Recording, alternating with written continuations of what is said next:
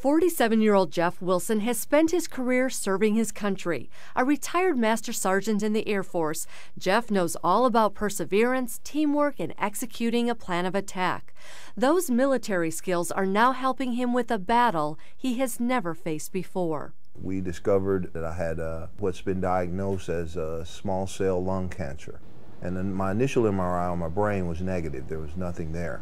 But one day Jeff blacked out, and doctors determined the cancer had spread from his lung to his brain.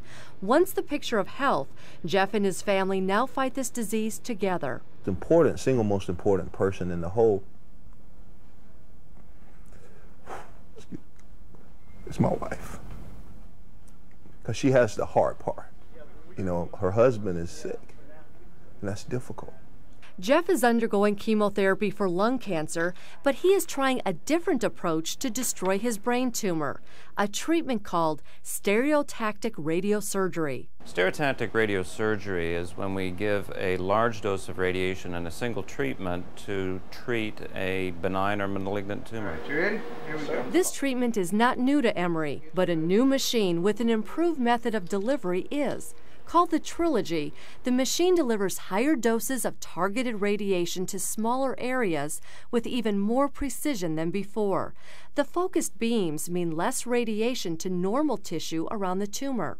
Before treatment begins, Emory radiation oncologist Dr. Ian Crocker plans the method of attack with neurosurgeon Jeffrey Olson.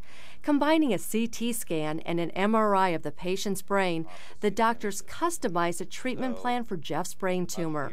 An onboard imager takes pictures immediately before treatment to make one final check for proper targeting. The radiation beam is like a knife, and we can direct it uh, very accurately to tumors uh, you know, deep within the head.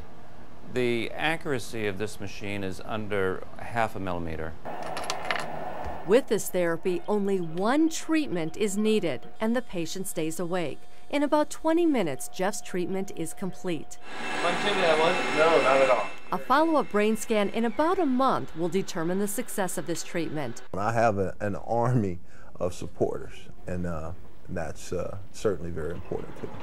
For Emory, this is Rhonda Rowland.